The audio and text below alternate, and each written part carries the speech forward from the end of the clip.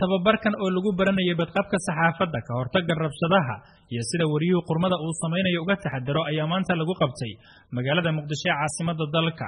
ururka saxafiyiinta soomaaliyeed ee nusej ayaa abaabulay tababarkaasi kaasoo kor loogu qaadayo xirfad wanaagga iyo badqabka xirfadlayaasha warbaahinta waxaana gacan ka geysanaya waaxda arrimaha dibadda iyo ganacsiga dowladda australia furitaanka tababarka ayaa waxaa ka qayb galay. Qaar ka mid a madaxda warbaahinta safiirka australia u qaabilsan soomaaliya iyo kenya danjiraha dowladda maraykanka u fadhiya soomaaliya larry andry iyo madaxa howlgalka midooda afrika ee soomaaliya waxaana qadka zoomka uga qayb galay madax kale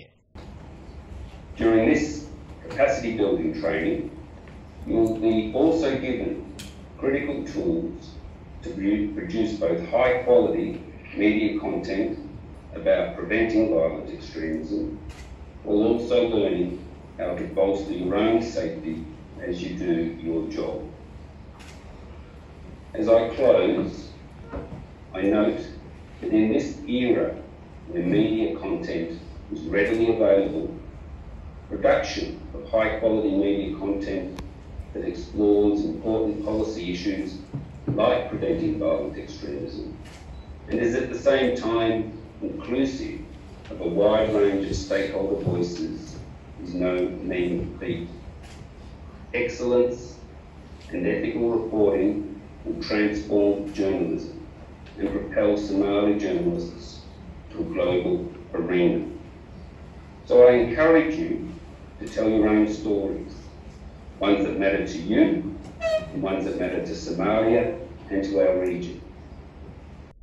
Ugu dambayn safiirka dowladda maraykanka u fadhiya soomaaliya larry andry oo isna goobta ka hadlay ayaa ka sheekeeyey sida ay muhiimka u tahay in la helo saxafiyiin khibrad leh kuwaasoo ka taxadara wararka ay baahinayaan. Uh,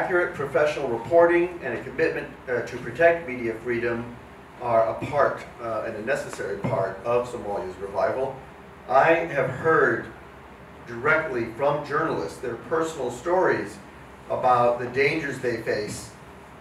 and about uh, harassment uh, from, uh, from different quarters.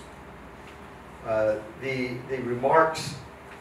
uh, by uh, the High Commissioner about this special um, degree of threat posed to female journalists is something that I'm also directly familiar with, having heard stories um, from female journalists of uh, the, the, the special uh, threats, um, the higher uh, level of threats that they must contend with. Abuses against the principle of freedom of expression in general and against journalists in particular committed by state um, uh, actors and uh, by those who are not part of government but want to exercise uh, pressure to control the narrative in various parts of Somalia are contrary to the United Nations Universal Declaration of Human Rights to which Somalia is a signatory. So the narrative that this is um, uh, an idea of promoting uh, free journalism is something which uh, certain foreign partners are um, uh, promoting it as a, as a foreign agenda is, is, not, is not accurate. Uh, this is a universal declaration of human rights which calls for uh, media freedom, which Somalia uh, is one of the original uh, signatories to. So I regularly raise concern about limitations uh, to freedom of expression in my meetings uh, with Somalia's political leaders um, and other uh, leaders throughout society. Uh, we are committed to working with journalists, human rights protectors, and other international partners to advocate for these freedoms. Uh, we appreciate that journalists have a professional duty to maintain high standards. Again, rights and responsibilities, the two go together. Uh, along with the rights um, of media, response, uh, media freedom come that great responsibility. I know you all face many challenges in your efforts to maintain a vibrant, free media in Somalia. Uh, we, my, my team and I, salute your hard work and wish you much success as you begin this training. xogayaha ururka saxafiyiinta soomaaliyeed ee nusej cumar faaruuq ayaa ka hadlay muhiimadda tababarkan u leeyahay saxafiyiinta ka qaybgelaya waxaa noo furmay tababar muddo saddex maalmood ah ka dhici doona magaalada muqdisho oo aan isugu keennay wariyaal